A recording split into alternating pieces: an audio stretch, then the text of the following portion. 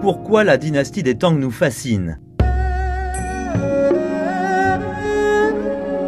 Dans cette série de podcasts, nous allons redécouvrir la dynastie des Tang et essayer de comprendre comment cet empire est devenu le plus prospère, international et innovateur pays du monde, en léguant à l'humanité le riche patrimoine qui nous est parvenu jusqu'à aujourd'hui.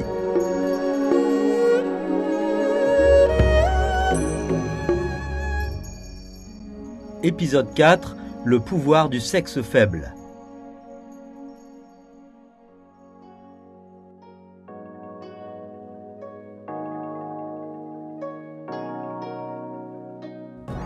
La dynastie des Tang était une période toute particulière dans l'histoire chinoise.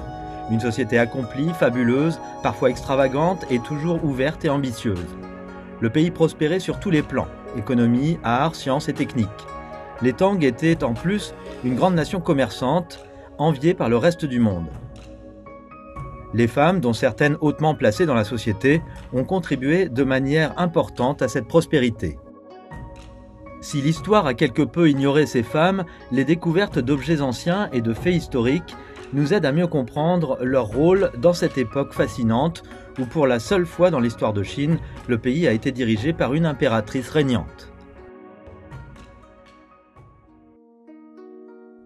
Parmi ces dames légendaires, Yang Guifei, ou la concubine Yang, à qui ont été consacrés d'innombrables récits, poèmes, pièces de théâtre ou tableaux de peinture. Cette femme, connue pour sa beauté époustouflante, était la favorite de l'empereur Xuanzong des Tang. Son charme a tellement fasciné l'empereur que celui-ci a délaissé son devoir de souverain et a traîné l'empire au bord du déclin.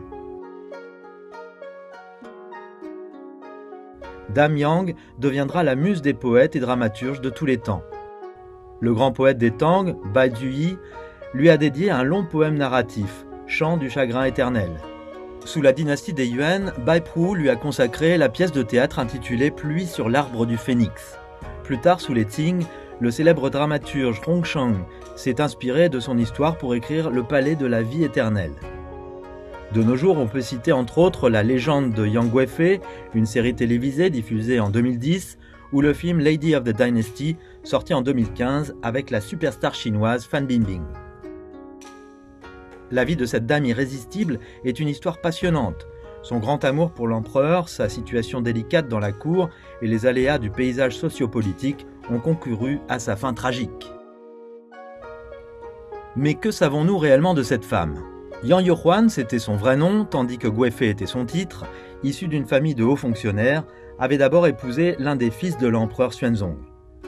Mais le souverain sexagénaire est tombé éperdument amoureux d'elle et a forcé son fils, le prince, à s'en séparer. Yang Yuhuan a vite monopolisé la faveur de l'empereur. Grâce à son influence, deux de ses sœurs seront bientôt admises dans le harem impérial. Son cousin sera promu Premier ministre. Elle a contribué à l'ascension d'un jeune général ambitieux du nom d'An Lushan, qu'elle adoptera comme fils ou plutôt comme amant, disait-on.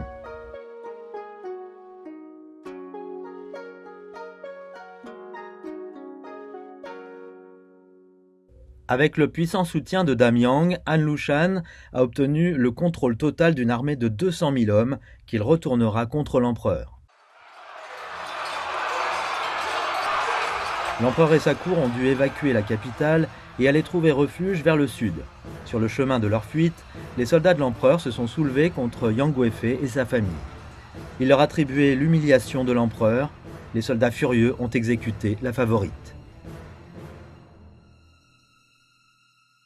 Une fin bien déplorable pour la beauté légendaire, mais ce personnage nous ouvre une fenêtre fascinante pour apprendre sur la vie et la situation de la femme à l'époque des Tang.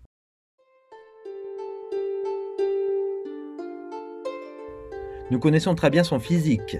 Yang Guifei a été l'une des rares figures dans l'histoire chinoise à avoir renversé les critères de la beauté féminine, critères qui appréciaient les femmes maigres et fragiles. Les tableaux datant de l'époque montrent que le courant esthétique des Tang privilégiait plutôt les proportions naturelles du corps. N'oublions pas que la dynastie a duré quelques 300 ans, pendant lesquels les goûts pouvaient bien évoluer et changer de temps à autre. Et n'oublions pas que les tendances de mode et de goût venaient souvent du haut de la société, comme c'est toujours le cas aujourd'hui. Les goûts de l'empereur concernant les femmes, ainsi que les styles personnels de celles-ci, pouvaient toujours servir d'exemple aux couches inférieures de la société. Des figurines exhumées montrent que durant les premières années des Tang, la tendance était encore à la silhouette fine, tandis que les objets datant du milieu de la dynastie des Tang représentent des formes plus généreuses. Mais on constate un point commun entre ces œuvres. Les personnages féminins représentés ont tous un visage bien plein. Ces statues et figurines laissent rarement voir le bas du corps. En effet, le style vestimentaire de l'époque, bien cassé osé au niveau du haut, montrant souvent les épaules, couvrait bien la partie en dessous de la poitrine. Les costumes touchant au sol étaient à la mode. La dynastie des Tang est communément considérée comme une époque audacieuse. Certains experts en ont conclu que la femme était émancipée. C'est encore matière à discussion. Sur les tableaux de peinture, on peut voir que les gens à l'époque portaient en général des couleurs vives. Leurs vêtements étaient souvent influencés par des modes exotiques venant de très loin. Ces échanges allaient dans les deux sens. Les tendances et modes des Tang s'exportaient dans les pays voisins, dont les styles pouvaient également influencer les Tang.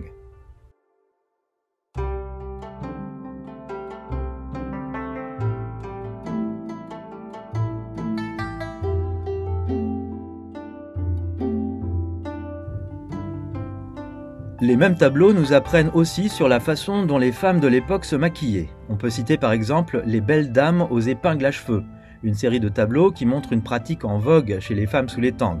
Il s'agit d'enlever ses sourcils naturels et de les repeindre sous forme d'une grosse feuille.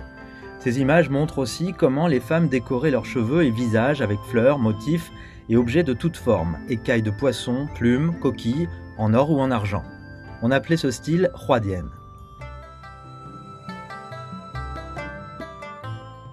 Il existe beaucoup de légendes sur l'origine de ce style de maquillage. J'ai choisi pour vous ma version préférée car c'est la moins violente.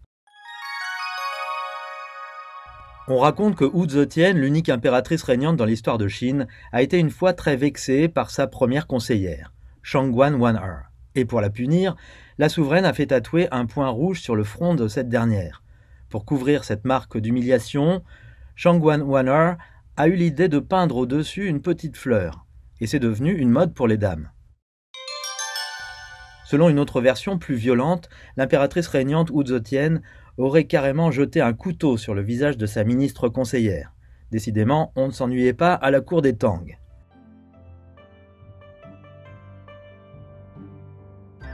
En dehors d'endommager le visage des autres, l'impératrice régnante était elle-même une grande spécialiste des techniques pour se faire belle.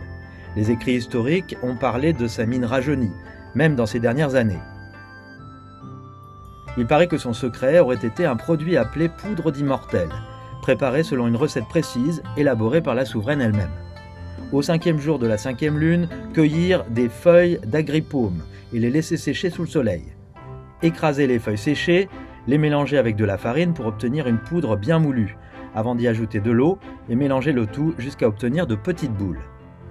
Griller les boules avant de les moudre. Mélanger la poudre avec des cadavres séchés de cochenilles femelles. Bien moudre, utiliser la poudre trois fois par jour.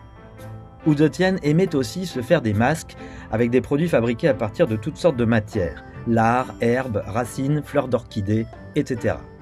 N'oubliez pas de vous rincer après 10 minutes si vous essayez.